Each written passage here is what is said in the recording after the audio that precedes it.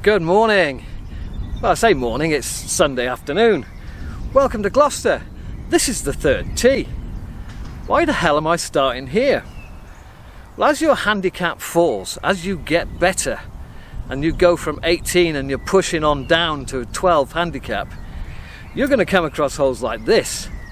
Last week you had a shot on it. It didn't matter if you missed the green and chipped and two putted, made a bogey, net par, didn't matter. But now it does. But there's only two things that have changed. The hole is exactly what it was last week. What's changed is, firstly, you're playing better golf. And Secondly, what might possibly be going on in here now you haven't got a shot? Let's go play a few of those easy holes where you're going to be dropping shots. I think one of the most important things you have to learn as your handicap is coming down is exactly how far you hit the ball through the air with your average shot and not your best shot. Now I can quite happily hit a 7 iron up here, carry this bunker and leave myself an uphill putt, but that requires one of my best shots with the 7 iron. So the back third of this green looks considerably more attractive than hitting an average shot with my 7 iron into the bunker. I mean sure, the putt's a bit awkward. I could get it wrong. But a par 3 is what we need as our handicap falls. Now I've been asked, is my neck and back getting any better? This is the fourth tee. Let's see.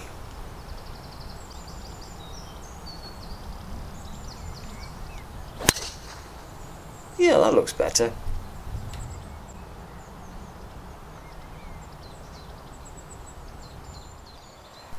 The fifth is stroke 11.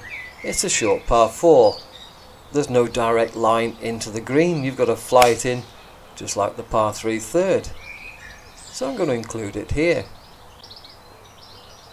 Leaving yourself a comfortable yardage into greens like this is what it's all about. 86, slightly uphill, is very comfortable. I can swing within myself. And when I'm swinging at about 90% with a wedge, I can hit it real close.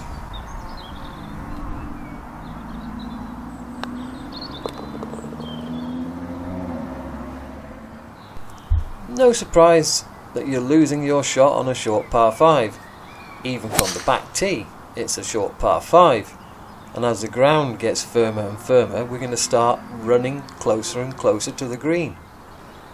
But we don't automatically go for the green, especially with sand and water. If we're feeling good, then we have a go.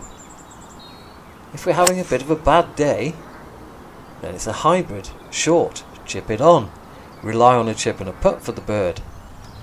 As it happened, I missed the green, so I am relying on a chip and a putt for the bird. But we don't go autopilot for our second shot. It all depends on what the hazards are and how we're feeling that day or how we're swinging.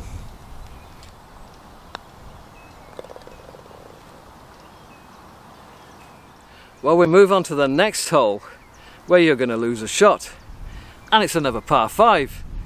And even from the competition tees, it's only 485 yards. So uh, we're going to be going for birdie, aren't we? Well, not on this one.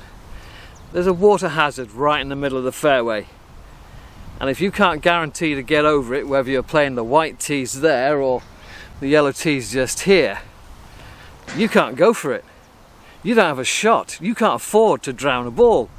And I don't know about you but I can't afford to lose Pro V1s so you're going to have to hit an iron. You're going to have to be disciplined. And it's very strange hitting an iron on a par 5 but sometimes you've just got to do it. If I was to take you to Eastern Star in Thailand there's a par 5 there well you're not going to be hitting your tee shot any more than 180 yards. And then your second shot is with a longer club than what you teed off with. It's very bizarre. It's the same here on this one.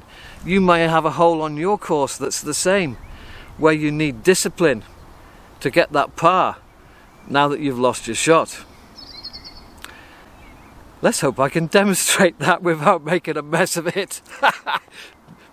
I better get a six. I better get a six doing it this way.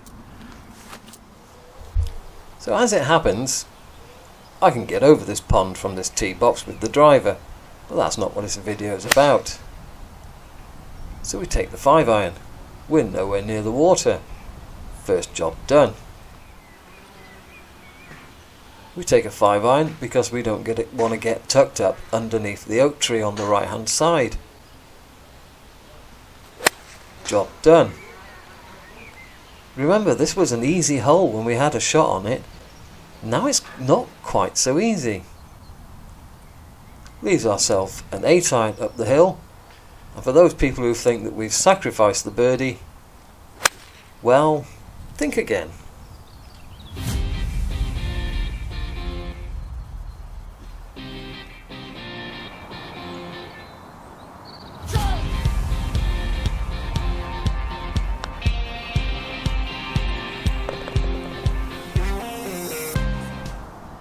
Well, that's the easy holes done on the front line, or certainly the easy holes according to the card. Now I'm losing my rhythm a bit because I'm behind two three balls. Now those two three balls, all six of them took driver on the eighth there. Not one of them got over. Two went in, two hit enormous slices because they were trying to hit it too hard.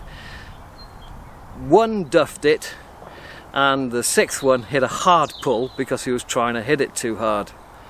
Now if they'd seen me tee off with a 5 iron they'd probably consider me to be the one who's a lunatic and got it all wrong.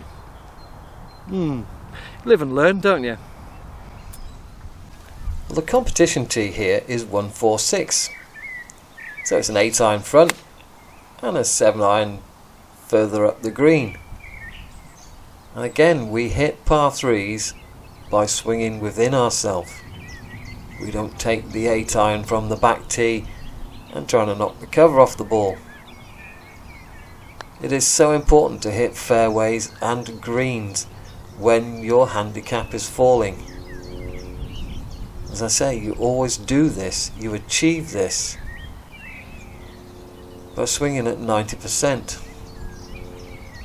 It's always very hard to convince people to do so. Number 15. And um, I haven't got a card with me and I've forgotten what the stroke index is.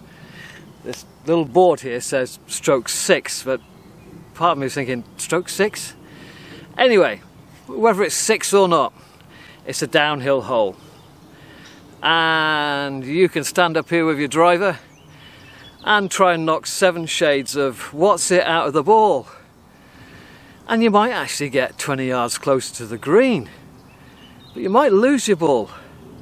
You know, as you come down, as you lose strokes, hitting fairways is so important. And the way you hit fairways is to swing within yourself. Not slow. So the daft thing is, is when you slow down a bit, you get the speed at the bottom, at the ball. So you slow down, but you don't lose distance. What you gain is dispersion. Let's give it a go.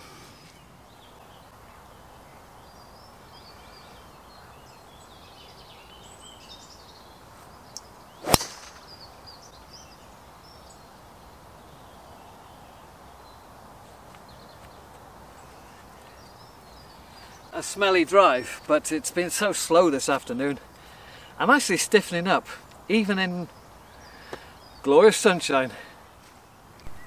Another important thing with wedges is to try and give yourself uphill putts. And this is what exactly what I'm doing here. Just getting myself on the low side because this is a more attractive proposition than putting down.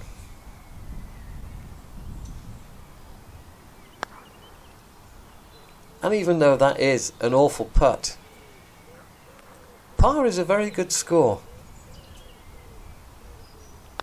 I think I'd quit the day that par is no longer a good score. 113, 9 iron, swing within myself. I'm going to be more accurate than trying to lace the pitching wedge, especially with a bit of wind about. And I'm exactly pin high. The ball didn't move in the air as much as I thought it would. But again, it's another par, and this is what we got to do as we lose our shots.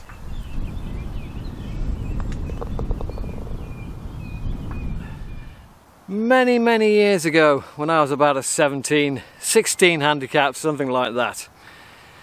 And I was knocking it around here in a competition with a guy called Tim Farley, who was off three or four, I, I forget which. And he hit a seven iron down here and then wedged it on. I pulled out a wood.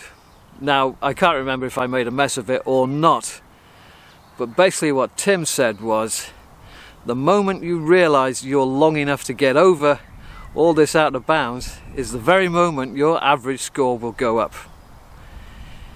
Now you're not a member at Gloucester so you don't have this dogleg left over all the out of bounds. But you might have a hole. Stroke 16, stroke 14, something like that where you get a shot. And now you've lost your shot and you've got this out of bounds that's really close to your line of play.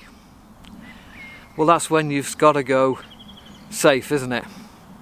Hit your iron hit your wedge some days you'll make a bird. Some days you'll make your par most of the time you'll make your par and occasionally you'll three jab it for a bogey. But you'll do a hell of a lot better than taking it on and going three off the tee birdie. Three off the tee par three off the tee par five off the tee. You know how it goes. Your average goes up. So let's be sensible here and just just knock an iron down.